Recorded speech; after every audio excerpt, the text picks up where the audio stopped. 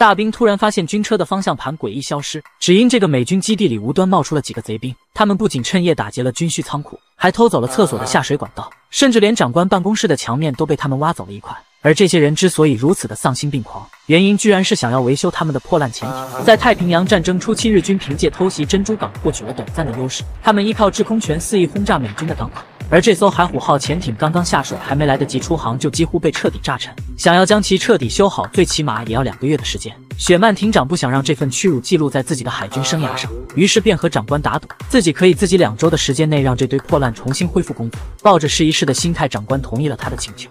随后，雪曼艇长便带领着船员们如火如荼地开始了打捞工作。他们为潜艇搭好脚手架，紧接着用水泵抽干里面的水，然后卸下潜艇上没用的零部件，减轻重量。就这样，海虎号慢慢从水中浮了上来。但现在的情况依旧很不乐观，潜艇上的所有仪器和部件几乎都有损坏，只有潜望镜还勉强能用。偏偏这时，一名军官来到这里报道。他是轮换到潜艇上工作的霍顿上尉。这个人从举止到穿着都像个十足的直胯弟子，而且对于潜艇也是一窍不通。雪曼下意识认为又来了一个麻烦的家伙，但现在他根本没有心思去管他。由于时局艰难，部队缺少补给，根本没有多余的零件给他们来维修潜艇。就在雪曼艇长一筹莫展之际，一旁的霍顿上尉却主动请缨，声称他有办法帮艇长搞来零件。艇长本以为他认识什么高层军官能帮忙解决，谁知他的办法居然是直接去军需仓库里零元购，对照着物资清单，缺什么就拿什么。雪曼虽然对他的做法抱着一丝鄙夷的态度，但确实解决了眼前的难题，所以他也没说什么。可没想到，船员们见到霍顿的成功，纷纷效仿。随后便出现了开头的一幕，方向盘被拆下来装在了潜艇上，厕所管道则用来修理水管。长官办公室墙上的铁皮也被扒下来填补潜艇外壳。愤怒的长官找到艇长质问，雪曼一时间也不知道该如何回答。就在这时，突然响起的防空警报成了他的救星，日军再次对基地发起了袭击。长官顾不得追究，连忙乘着军车逃跑。途中，他们还发现一辆卡车顶着轰炸朝基地的方向冲去。艇长和上级看着这一幕都疑惑不已。不久后，日军战机投完了所有炸弹撤离。此时的港口也被炸得乱七八糟，好在他们的潜艇没有被炮弹命中。此时潜艇也修补的差不多了，可以出航。上级虽然有些质疑这艘东拼西凑的潜艇，但为了让这个麻烦赶紧离开，还是同意了这个请求。可就在这时，他们却发现霍顿不见了。原来刚刚那辆逆行的卡车上面的人就是霍顿，他趁日军来袭时去洗劫了长官的办公室，甚至连一张椅子都没给留下。看到霍顿返回之后，他们便准备出发。轮机长一脸忐忑地启动发动机，结果潜艇却冒出了一股黑烟，便直接宕机。显然这样的情况根本没法出航。霍顿见状，请来了一批巫师，对着潜艇就是一通做法。艇长认为这么做根本就没什么卵用，谁知下一秒潜艇居然真的成功启动，这让艇长一时间呆住了。不过他们也终于可以冲向大海。就这样，这艘不靠谱的潜艇开始了一段不靠谱的旅程。都说潜艇上千万不能出现女人，可偏偏这个新来的军需官却阴差阳错就回了一群女兵。不久前，这艘美军潜艇因为漏水，不得已浮上水面检修。雪曼艇长为了不让这个新来的军需官霍顿添乱，于是便派他去附近的岛屿上看看能不能捡些有用的东西回来。谁知这个岛屿刚被日军袭击过，霍顿上尉前去搜寻，居然发现了几个被留在那里的女兵。女人会给潜艇带来厄运，这是每个海兵都听过的传说，就连艇长心里都隐隐有些不安。可这艘潜艇就是因为霍顿才能恢复运行，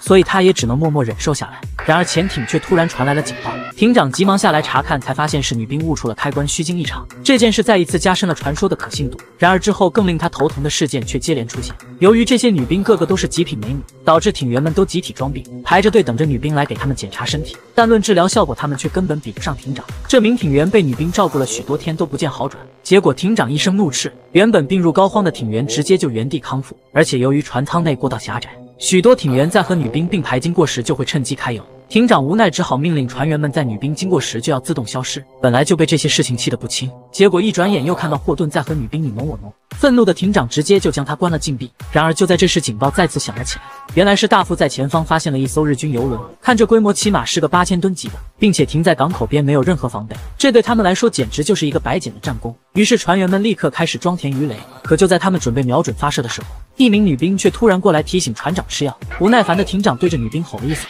结果受到惊吓的女兵不瞬间触动了鱼雷发射按钮，还没完成瞄准的鱼雷瞬间飞了出去，没能命中游轮，反倒是冲上岸炸毁了一辆卡车。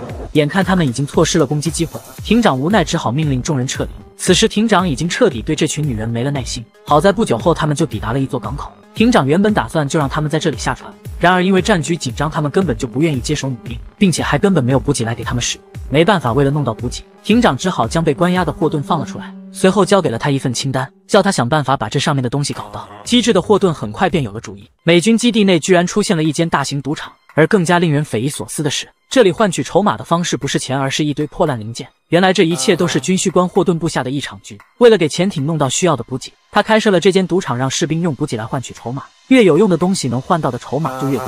但这时跟他一起来的船员却害怕了起来，他担心万一有人赢了，他们拿不出钱来。然而霍顿却告诉他不用担心，因为这里的毒手都是他找来的千王之王，这些大兵根本不可能从他们手中赢得一分钱。很快，霍顿就带着一堆补给满载而归。即将出航的他们决定将潜艇重新涂装一番，可结果手头上只有一些白的和红色的油漆，只有将它们凑在一起才勉强够用。结果就混合出了一个诡异的颜色。就这样，一艘粉红色的潜艇新鲜出炉，士兵们看着这个骚气的颜色都大跌眼镜。但苦于物资短缺，他们也只能接受。正当船员们打算好好庆祝一番时，日军的战机却再次赶来袭击，船员们纷纷回到潜艇准备逃走。结果这时霍顿居然又带回了一群孕妇和孩子，这些人帮助他寻找补给，所以霍顿答应会将他们送到安全的地方。眼看日军已经盯上了他们，急着逃跑的艇长只好让他们都上了船。好在他们最终还是成功逃回了海里。晚上，艇长坐在甲板上怀疑人生，潜艇现在已经被搞得乱七八糟，先是上来了一群女兵，现在又来了一群孕妇孩子，甚至还有一头小羊。他完全搞不清自己开的是潜艇还是游乐场。然而接下来倒霉的事情出现了，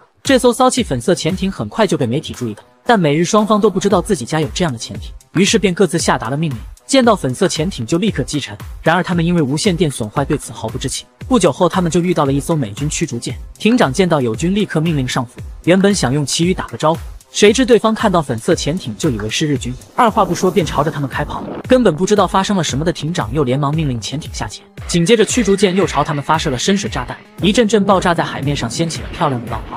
但下面的潜艇就遭老罪了。原本这个东拼西凑的潜艇就不靠谱，挨了两下炸之后，更是出现了要散架的节奏。无奈的艇长只好让船员们脱下衣服。连同废油一起从鱼雷口发射出去，想要伪装他们被击沉的假象。然而驱逐舰舰长根本就不上当，依旧命令驱逐舰不停投弹。眼看再这么下去就真的顶不住了，霍顿突然想到了一个办法，他让艇长投放女兵们的贴身衣物，因为日本军队里没有女兵，而且美国的女性内衣和日本的有明显的差别。辨别起来十分简单，于是艇长只好命令女兵们脱掉贴身衣物，通过鱼雷口发射了上去。驱逐舰上的船员打捞上来查看，长官一眼顶针，断定日本女人没有这么大的尺码。就这样，海虎号潜艇终于得救了。本期的电影也就到此结束。